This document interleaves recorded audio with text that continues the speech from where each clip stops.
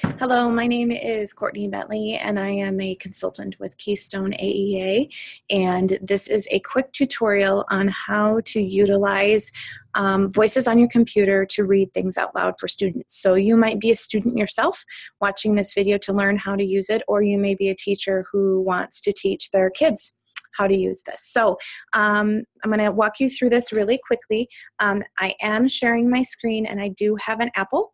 Um, so a PC might be just a little bit different, um, but it does require to use Google um, through your Drive. So if you're not a Google user, you'll probably want to get a Google or a Gmail account to do that. And um, you will need to be able to access your system preferences. So if your school has that locked down, you'll need to gain some access to that. so you can see my screen right now.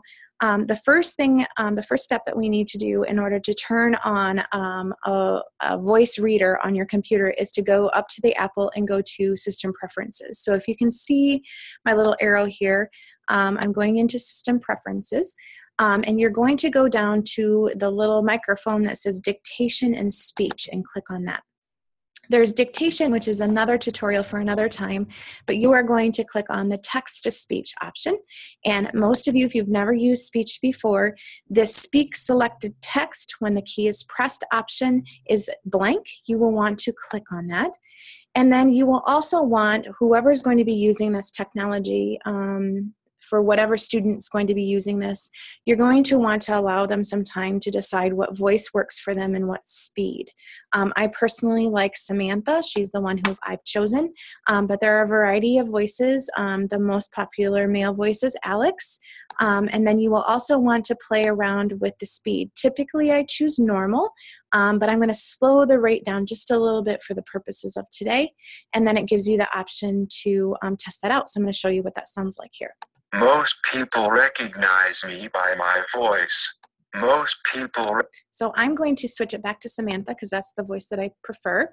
And I'm slowing her speed down just a little bit. But again, allow the student some time to play around with that just a little bit and decide what sounds best for them. So once you have this picked out and you have the check here saying that you've turned it on, you've enabled it, um, the current key option for the shortcut for turning your voice on is option escape. You press both of, both of those buttons and that will turn your voices on. Um, you can change that key for something else if you would prefer to use a different shortcut, but option escape is the typical um, shortcut for that. So I'm going to click back out of system preferences. Now my voice is enabled. Whenever I have a Word document open or anything that is um, like typed text, um, I can highlight whatever I want to and it will read it aloud. It will also sometimes do that within a web um, like a website as well, depending on where you're at. So, for example, if I was working on a document within Google Drive and maybe a friend shared something with me and we're collaborating, or I wrote something and I wanted something read back to me, or something was sent to me in Word and I'm having trouble reading it by myself. Um, this is a document as an example. Um, whatever you highlight, you press Option Escape and it will read to you. Welcome to Keystone AEA's instructional strategy. I press Option Escape again and it stops. Um, if you let it play, it'll just read until it ends where you've highlighted. Now, the next barrier is sometimes teachers have worksheets or they send um, something through Google Drive in a PDF. Um, so that can't be read by a text reader just alone. Um, you need to put an extension on your computer called Kami. I was calling it Kami previous today, but I've learned that it's called Kami. Um, so I'm going to show you how to put that on your computer. Um, as you can see on mine, if you look at the top right hand corner of my screen here, this is how you know your extension is loaded on your um, web browser. It's a white K with a purple circle. So I'm going to show you how to put it on your computer if you don't have it on there already. You need to go to like the um, web store within Google. It looks like this. You can search Google Web Store if you don't have it on your computer as a shortcut.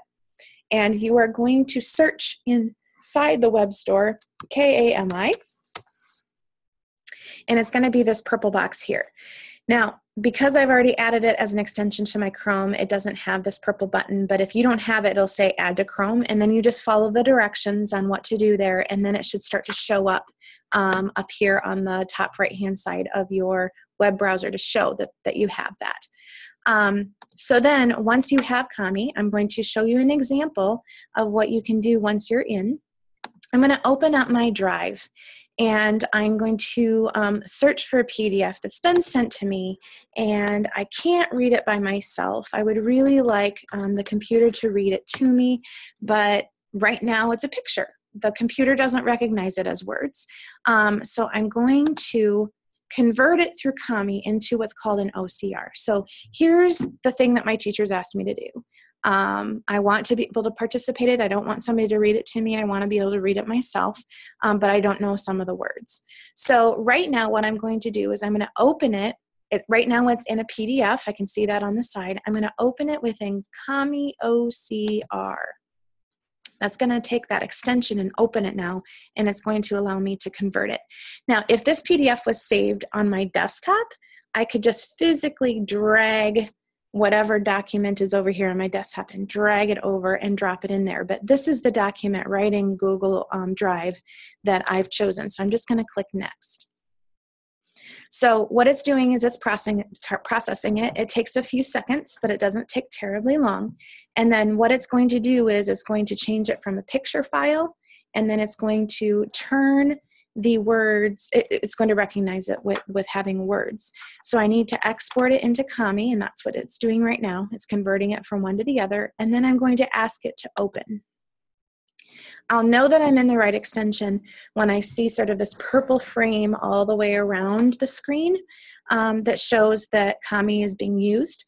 Um, it has some other cool tools too that's for another tutorial over here on the left hand side that you can play with, but right now we're just working on the read aloud section. So I kind of know what this says up here. I know that I need my name and the date. This is the part that I can't read by myself. So I'm highlighting it and I'm going to press my Option Escape and then I'm going to click on it again so that that highlighting goes away so I can read along while it reads out loud. So Option Escape. Work personality profile. Please describe the client's observed work performance using the five options listed below to complete the 58 behavioral items. 4 equals a definite strength. An employability asset 3 equals adequate performance. Not a particular strength to Option escape stops it again. Let's say I go back here and I didn't know for sure what this said. Read it aloud to me again. I'm going to press option escape and then click to make that highlighting go away. 4 equals a definite strength, an employability asset. Just read the part that was highlighted there. So um, hopefully you can find this useful. It does take a few steps and some getting used to it first. But if you are interested in being more independent in being able to read things on your own, um, this is a great way for you to be able to turn a PDF into something that your text reader can recognize. So thank you for watching this tutorial and that you found it useful.